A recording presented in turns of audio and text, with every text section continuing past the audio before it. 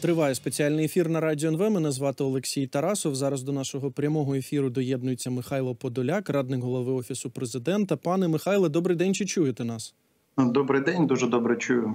Дякую, що приєдналися до ефіру. І от є декілька важливих тем, які хочу з вами обговорити. От перша вчора, ну тобто 4 серпня, речник делегації міжнародного комітету Червоного Хреста в Україні, такий Олександр Власенко, він дав інтерв'ю Deutsche Welle, і там він сказав про те: тут я маю процитувати: ми були гарантом безпечного виходу військових з Азовсталі, але не більше. Ми ніколи не гарантували безпеку військовополонених після їхнього потрапляння до рук неприятеля, оскільки ця ну, це поза межами наших можливостей.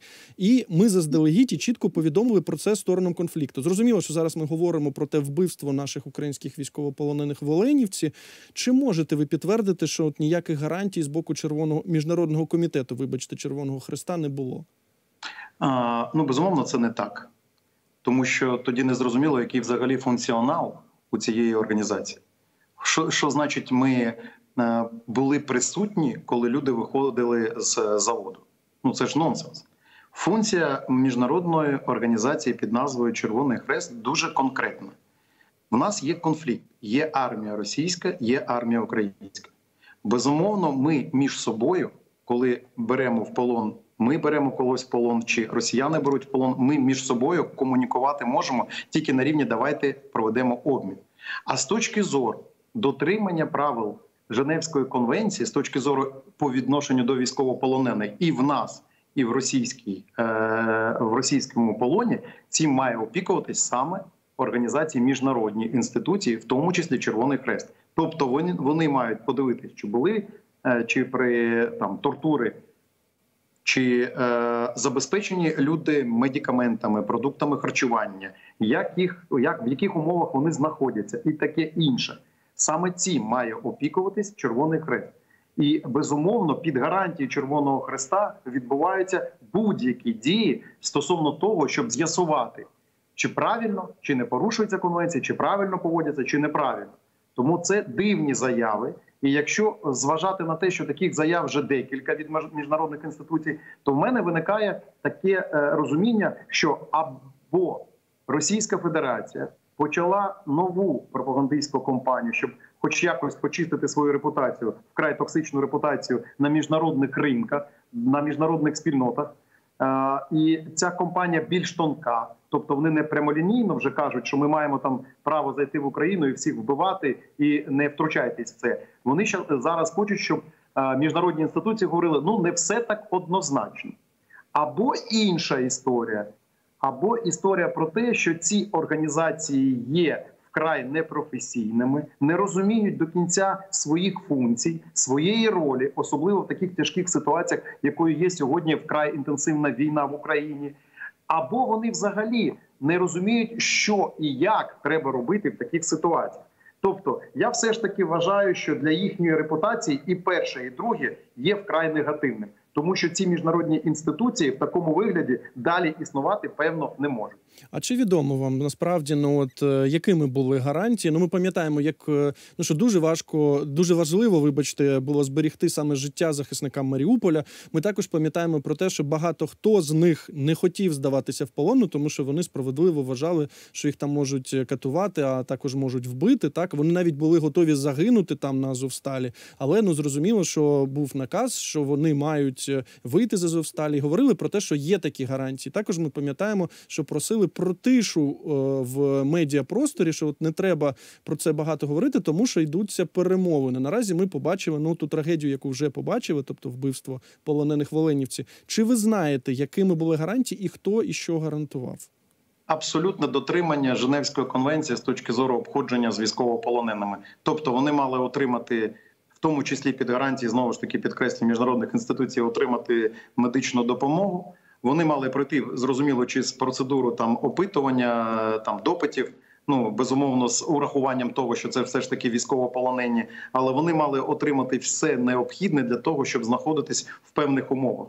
І е, дивитись за тим, щоб ці умови не порушувались, могли тільки посередники. В даному випадку ми говоримо про Червоний Хрест. Ну от ми тут розмовляли в ефірі з декількома людьми, які перебували саме в Оленівці в той час, коли туди привезли захисників Маріуполя. Ну тобто їх привозили на окремих автобусах. Там перед цим приїхали якісь люди, встановили всюди російські прапори. Так ось ці люди, там це і волонтери, які були з Маріуполя. Вони, наприклад, там 100 днів перебували в Оленівці. Тож один з них нам саме в ефірі говорив про те, що він бачив, як один раз представники міжнародного комітету Червоного Христа вони під камери приїхали такі в, Олені, в Оленівку. Так вони були тільки в бараках з деякими азовцями. І а, ну, хоча там речник е, е, міжнародного комітету Червоного Христа каже, що вони не розділяють полонених на азовці, полонених на азовців та не азовців, але вони були тільки в бараках з деякими азовцями. Е, чи вони якимось чином комунікували цей візит з офісом президента чи з іншими українськими високопосадовцями? Безумовно, вони ставили до відома нас про будь-які свої візити е, і ставлять до відома.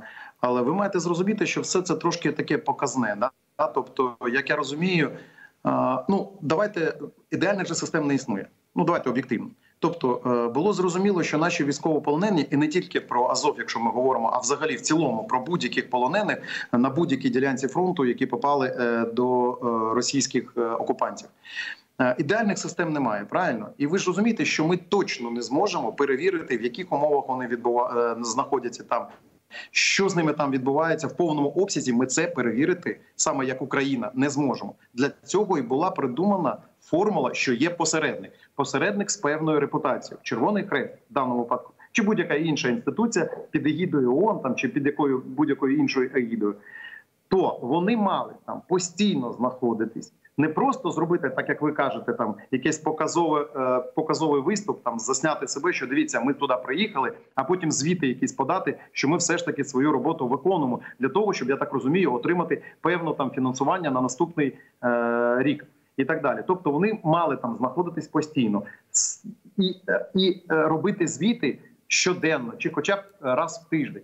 Безумовно, сьогоднішні організації, я ще раз це підкреслюю, ці міжнародні інституції, яким абсолютно байдуже на свою репутацію, бо вони все рівно залишаться. От незалежно від цього ексцесу, який ми сьогодні бачимо, я маю на увазі в Оленівці, да незалежно від цього ексцесу, і міжнародний червоний крест, і ООН, і будь-які інші структури будуть казати, що це не від нас залежить, це все е, десь там в іншому боці. А ви продовжуєте нас фінансувати всі країни. Да, і ми будемо робити вигляд, що ми є посередниками, які можуть втручатись в подібні ситуації. Тому давайте справедливо. Росія порушує будь-які конвенції і будь-які умови. Це очевидно. І Росія в терактом в Оленівці хотіла б скрити певні е, там ну, прояви певно тортур, які вони використовували, і таке інше. Це зрозуміло, і нам би хотілося, щоб такі інституції, як міжнародний крест, менше робили голосних заяв, незрозумілих, а більше просто опікувались виконанням своїх функцій. Ми про це будемо наголошувати і приватно, і публічно. Пане Михайло, ну от якщо ви кажете, що в принципі представники Червоного Христа мали перебувати там в Оленівці, так чи мали надавати такі звіти, ну хоча б щотижня. Е- коли цих звітів не було, чому ну, українська влада не виходила в публічну площину і не казала, слухайте, щось не так. Здається, є якась велика проблема.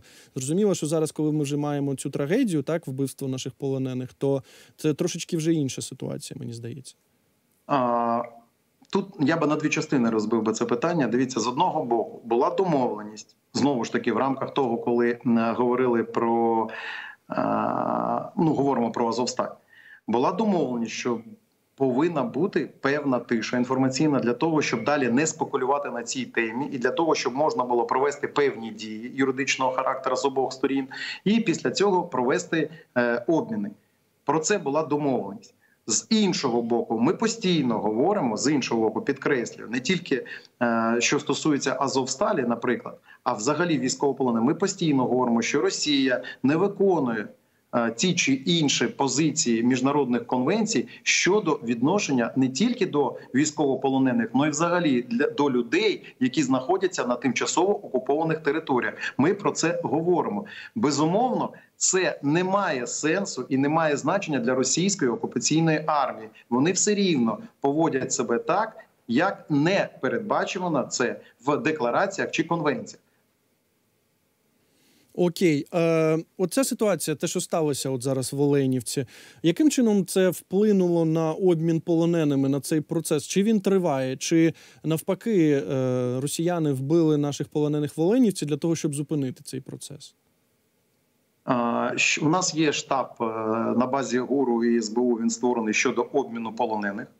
Він працює, продовжує працювати. Безумовно, ми розуміємо, що виникають нові обставини, і треба це аналізувати. І треба якось попереджувати далі, щоб не було подібних ексцесів.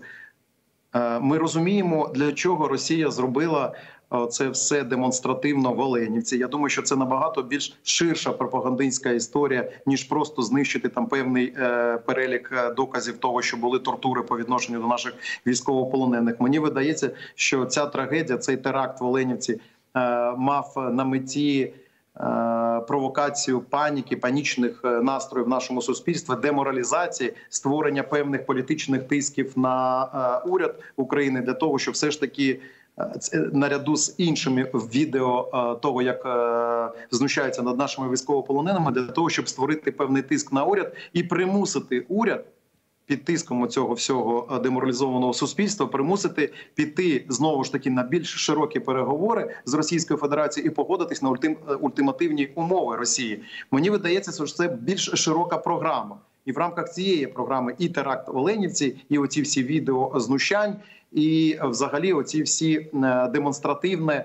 Е, демонстративне відмовлення Росії від е, будь-яких принципів і звичаїв ведення війни, але все ж таки обмін сьогодні на рівні на рівні штабу щодо обміну полонених продовжується. Тобто переговори йдуть, вони тяжкі, дуже тяжкі. Безумовно, сьогодні внесені певні корективи. Ми бачимо, що більш активно в переговорний процес втручається пан Лубінець, це новний уповноважений справ людини. Так, так у нас він, він був у нас він був говорить... у нас в ефірі. Також так.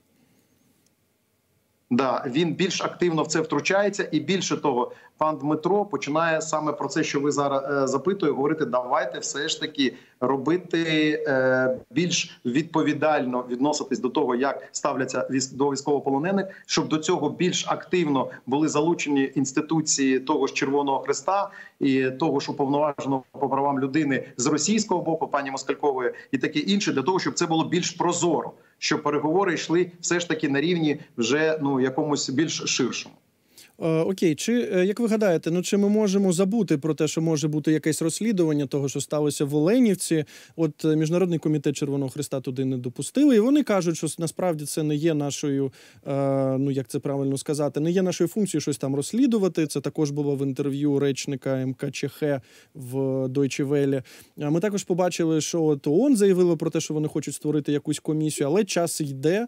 Ми розуміємо, що росіяни можуть зробити там що завгодно. Тобто, на розслідування ми не можемо розраховувати на те, що світ побачить, що саме там сталося. Пане Олексій, е, ви ж розумієте, що світ цивілізований чітко розуміє, що там відбулося. Це внутрішній підрив бараку, який був побудований на окремій території, куди було переведена певна кількість військовополонених. Це було зроблено зумисно. Там не було ніякої охорони, і там немає зовнішнього втручання в каркас цього бараку. Тобто світ все побачив. Росія Ні, ну, ми, ми це ми це з вами розуміємо, так, так? але для Ні, світу так. їм же треба що? Їм треба все Розумі. сфотографувати, відео, докази. Потім 10 років розслідування, і за 10 а. років вони скажуть, що да, знаєте, ви були праві. Давайте ні, просто е, ну давайте ж крапки розставимо на щоб було все зрозуміло. Бо я ж розумію, що всі хочуть ідеальні конструкції. а ідеальної конструкції не буває. Перше світ цивілізований, наші партнери. Ми чітко вже розуміємо, що ця пропагандистська акція Російської Федерації, які хотіли дискредитувати і Хаймарс, і наші збройні сили, не вдалася. Все крапка. Зрозуміло, що це було, як це було. Тепер тепер друге. Безумовно, ми знову ж таки повертаємось. Ми наполягаємо на проведенні розслідування незалежного, куди були долучені і наші фахівці.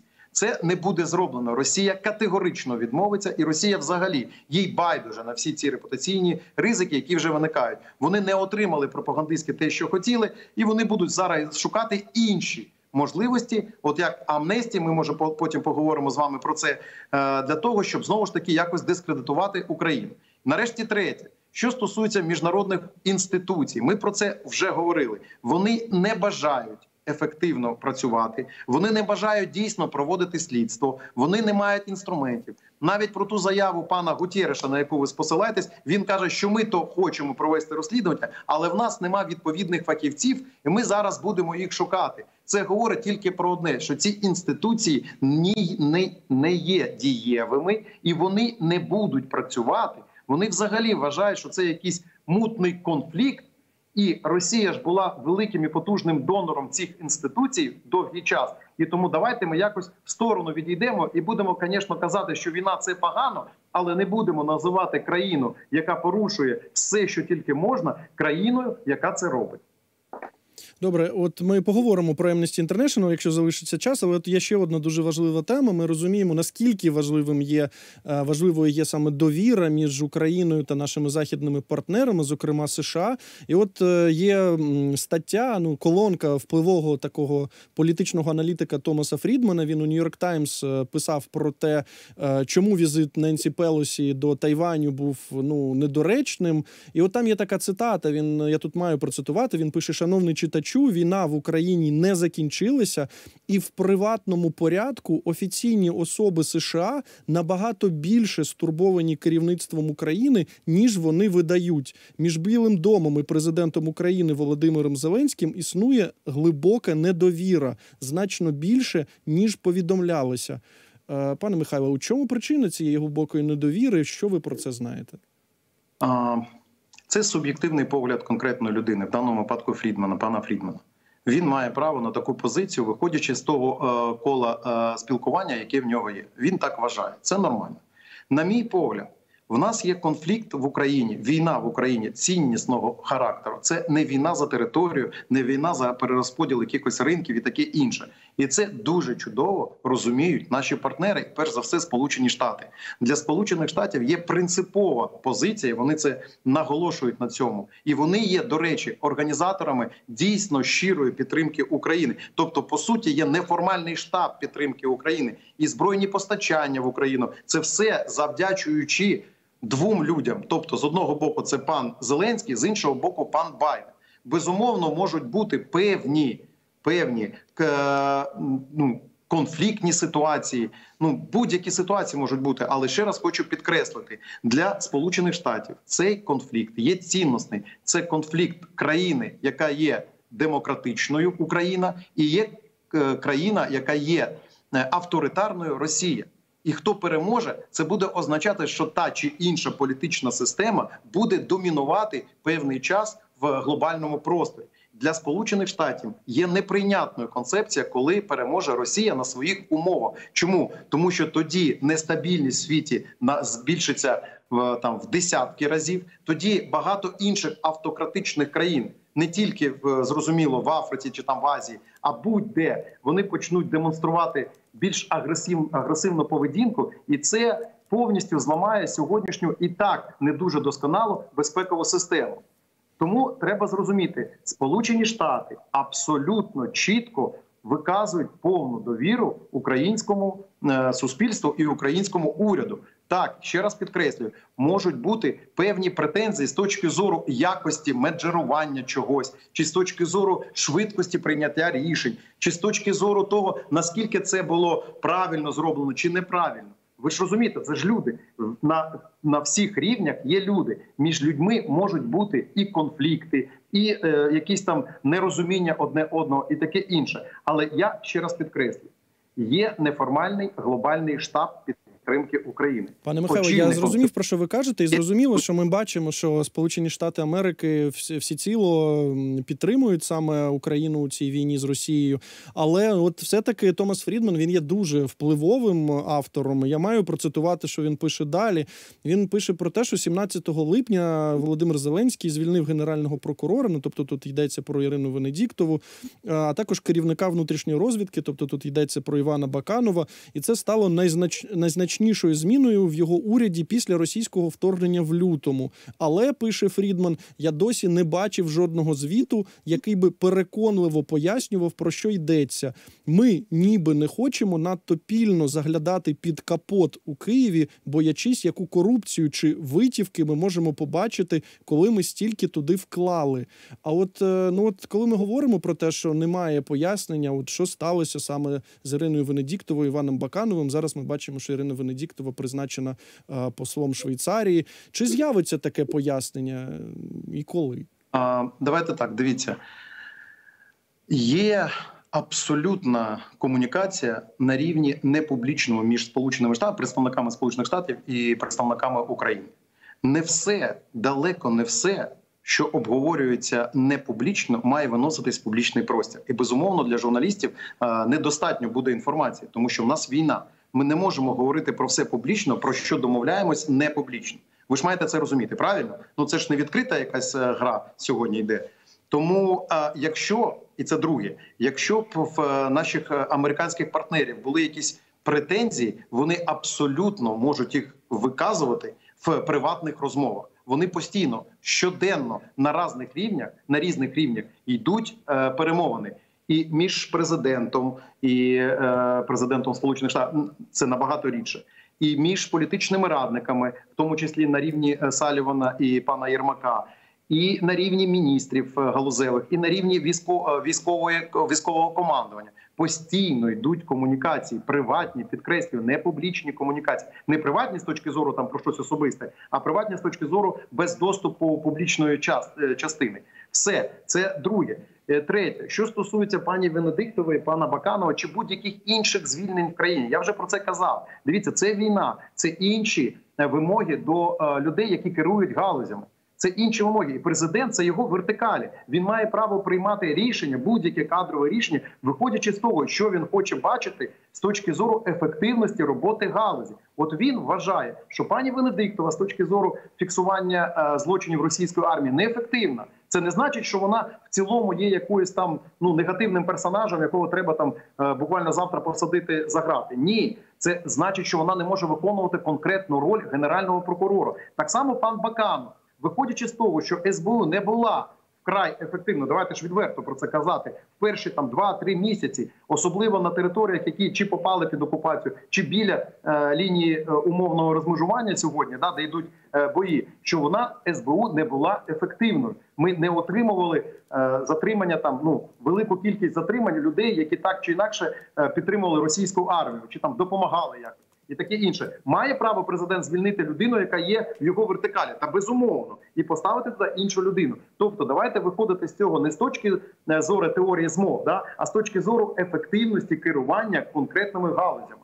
Пане Михайло, ми не говоримо про теорію змов. Я говорю саме про те, що ми бачимо в Нью-Йорк Таймс, так і здається, що такі запитання виникають не тільки в українських медіа, а саме виникають у американських політиків, і це і це набагато насправді ну небезпека набагато більша, тому що ну окей, медіа можна їм там сказати, що дивіться, у нас війна, і президент має право назначати призначати кого хоче. Окей, але от якщо американські політики ставлять такі запитання і не розуміють, що відбувається, то це може бути загрозою. Пане Олексій, давайте так. По перше, медіа повинно ставити будь-які питання, в тому числі тяжкі.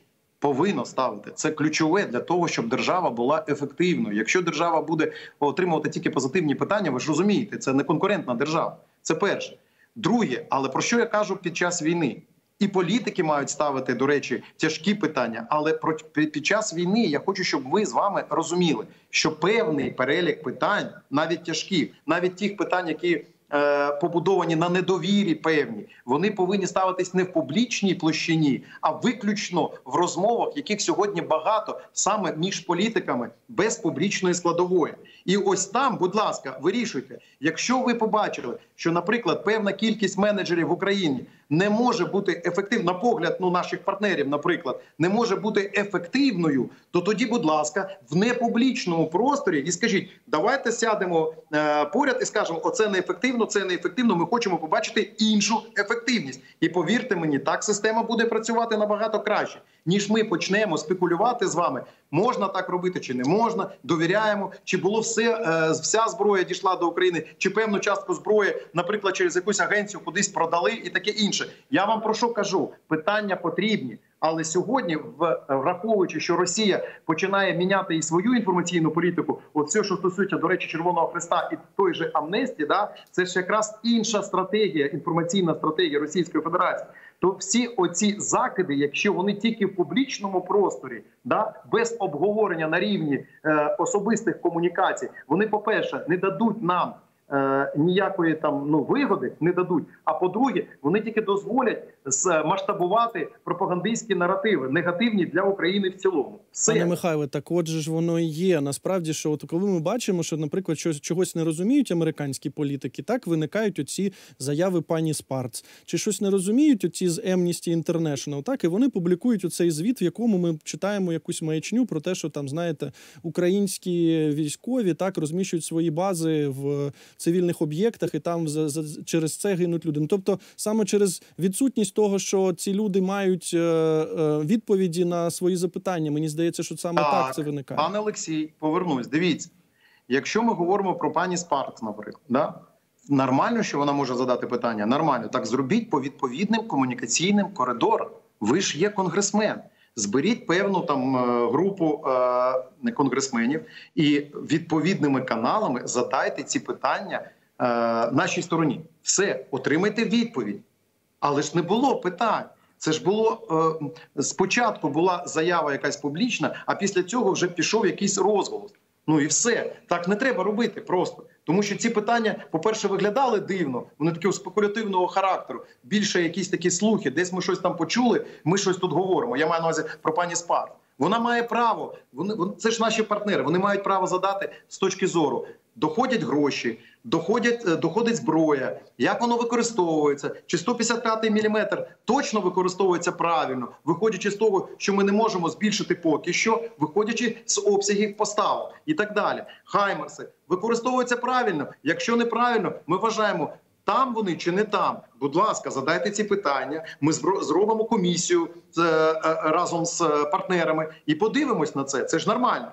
А якщо у вас будуть після цього сумніви, то тоді виходьте і робіть вже заяви публічні. Бо кожна публічна заява, вона, е, як ви правильно кажете, збільшує недовіру до нас. А нам що точно потрібна сьогодні недовіра до пана Зеленського? Я просто питаю: нам потрібна сьогодні недовіра до пана Зеленського? Точно ні. Точно ні. Ні. То так давайте тоді говорити не спекулятивно, а говорити, як має правильно механізм цей функціонувати. Я не про те, що не треба задавати питання. Навпаки, я якраз відношусь до людини, яка хоче, щоб цих питань було багато, але всьому своє місце. Є питання для публічності. От ми з вами обговорюємо. А є питання, які вкрай шкідливо публічно задавати, але дуже корисно задавати по особистих комунікаційних каналах. Пане Михайле, дуже дякую вам за цю розмову. Я зрозумів вашу позицію. Михайло Подоляк, радник голови офісу президента, був з нами на зв'язку. Підписуйся на канал Радіо НВ. Ось тут.